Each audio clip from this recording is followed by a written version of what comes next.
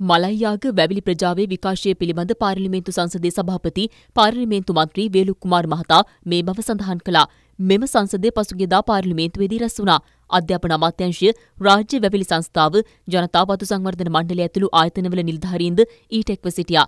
අදාළ දත්තවල නිරවද්‍යතාවය තහවුරු කර ගැනීමෙන් පසු ඉඩම් මැනීමේ කටයුතු ආරම්භ කළ හැකි බව වේලුකුමාර මහතා මෙහිදී පැවසුවා. වතු ආශ්‍රිත පාසල් සඳහා ලබා දෙන ඉඩමක ප්‍රමාණය සහ ගුරුහිඟය ගැනද මෙහිදී අවධානය යොමු වුණා. විපක්ෂ නායක සජිත් ප්‍රේමදාස මහතා ඇතුළු මන්ත්‍රීවරුන් පිරිසක් මෙම සාකච්ඡාවට එක්ව සිටියා.